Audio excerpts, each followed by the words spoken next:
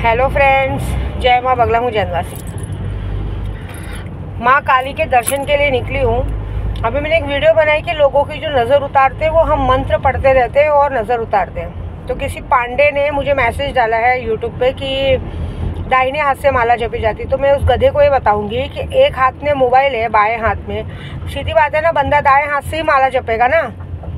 आपका एक बताओ, बाएँ हाथ से माला जपना पॉसिबल होता है क्या? कोई लेफ़्ट ही कर सकता है। मतलब मेरे को एक बात समझ में नहीं आती है कि ये इतना घमंड, इतना गुरूर आता कहाँ से? हाँ? आपने, आप लोगों को कोई दूसरों को मिलता नहीं। कमेंट पास करना बहुत अच्छी बात है। मतलब कोई काम कर रहा है, वो नहीं दिख रहा है। कमेंट पास करना है।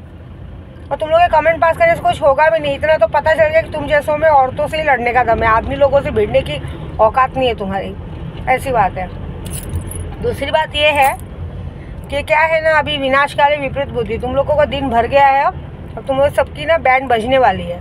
मैंने क्या, अब जो पहले जब तक बात तोड़ के बोलते ना, कुछ लोगों का दिमाग भ्रष्ट हो चुका है। विनाशकाले विपरीत बुद्धि, वो वाला हाल है। दूसरी बात, कल मैंने परसों एक दिन वीडियो में डाला था कि हनुमान चालीसा का कि एक बंदे ने उसको कुछ एक करोड़ रुपए की ज़रूरत थी। उसने भगवान पे विश्वास करके, ये आया है सब जगह। विश्वास करके पहले दिन 19 पाठ किया था, हनुमान चालीसा का दूसरे दिन 29 और तीसरे दिन 9 पाठ किया। भगवान ने उसको ऐसा करिश्मा दिखाया कि उसको ज़रूरत एक महीने में थी और उसको हफ़्ते भर के अंदर ही कम से कम ग्यारह करोड़ का फ़ायदा हुआ। तो उन्होंने क्या कहा? हनुमान चालीसा पढ़ने से करोड़पति बनते। हैं भले बने ना बने, लेकिन इसी बहाने कम से कम हनुमान चालीसा का पाठ तो हो जाएगा। बाबा जी को याद तो कर लेंगे। ये कोई अच्छी बात है ना? जाप और पाठ करने से जो करोड़ों का ज्ञान हमें मिलता है, वो खोना का, वो बात किसी को समझ में नहीं आएगी तुम लोग हर चीज़ को वो पैसा देखते हो। हम लोग ये सोचते हैं कि अगर हनुमान चालीसा पढ़ने से बाबा जी का थोड़ा सा, हनुमान जी का थोड़ा सा प्यार अगर हम पर बरस गया, कितनी बड़ी बात है। आपको पता है ना? भगवान जी संकट मोचन है। हर संकट में भूत प्रेत जब कहीं दिखता है, भूत पिशाच निकट नहीं आवे।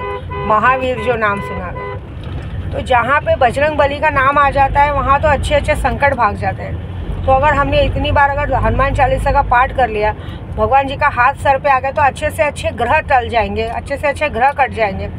आपको पता है, ये शनि का साल है। ये पूरा साल शनि का है। शनि भगवान इसके कर्ता धरता मंत्री हैं।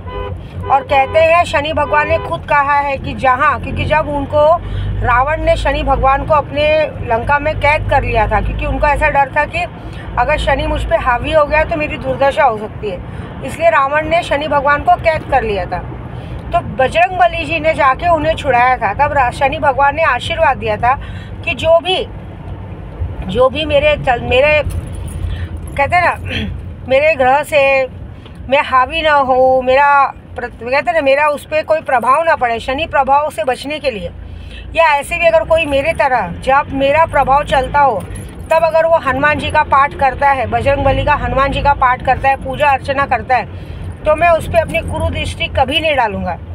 उसके बल्कि सारे ग्रह नक्षत्र ठीक करूँगा और उसको आने वाली ज़िंदगी में हर तरह का सुख दूँगा। तो ये करोड़ों की दौलत मिल रही है, इससे बड़ी करोड़ों की दौलत है क्या? वो दिमाग होना चाहिए आप लोगों में। शनि का साल है। शनि के साल में उन्नीस पाठ उनतीस पाठ नहीं मायने रखता। रोज़ का एक पाठ भी क्या ना, हनुमान चालीसा का बहुत बड़ा पाठ मायने होता है। ये सारा काम हम ब्राह्मणों को ही करने दो। तुम लोगों के बस की बात नहीं है। तुम लोग सिर्फ़ किसको कैसे टोन करना है, कैसे कैच करना है, किसी की बातों को कैसे पकड़ना है, बस वो यहाँ पे आ जाती है। मेरा मानना यह है कि शनि का साल है। शनि के साल में हर किसी को उसके किए का कर्म भुगतना पड़ेगा। शनि अपने सबको उनके कर्मों की सज़ा देने आए हैं, सबको उनके कर्मों का फल देने आए हैं। अगर हमारे थोड़े भी कर्म बिगड़े हैं और अगर हम थोड़ा भी हन बजरंग बली का पाठ करके, महावीर को याद करके अपने पाप थोड़े भी कम करना चाहेंगे तो इससे बड़ी करोड़ों की दादात कुछ नहीं। आपको पता है, मैं भी आज तीसरा दिन है मेरा, मैंने भी परसों 19 पाठ किया, कल 29 पाठ किया 29 पाठ किया और आज मुझे भी नौ पाठ करना है। लेकिन मैंने बजरंग बली से करोड़ों रुपए नहीं मांगे। मैंने सिर्फ़ ये कहा कि, हे भगवान, हे बजरंग बली, हे महावीर मुझे सिर्फ़ इतना देना कि जितने की मेरी मुसीबत चली जाए।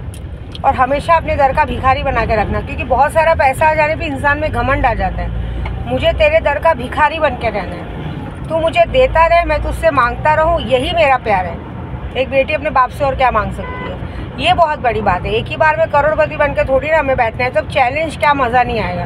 तब आगे जीने का मज़ा नहीं आएगा। और ये जो बकवास करते ना मेरी वीडियो देख के, एक बात याद रखना, अभी तो सीधे से बोल रही हूँ तुम्हारे गांड के अंदर डंडा डाल के ना मुँह से बाहर निकालूँगी, याद रखना। तो ज़रा सोच समझ के बात करना मेरे से, ठीक है? अपनी चूतिया के लिए ना अपने घर में जाके दिखाना। खा रहे खुद की औरतों, घर में औरतों के सामने तो चलती नहीं है। बाहर की औरतों को ज्ञान बांटने बैठे हो। पहले खुद के अंदर, घर के अंदर इज़्ज़त बनाओ, बाद में आना बाहर ज्ञान बांटने के लिए, ठीक है? चूते लोग।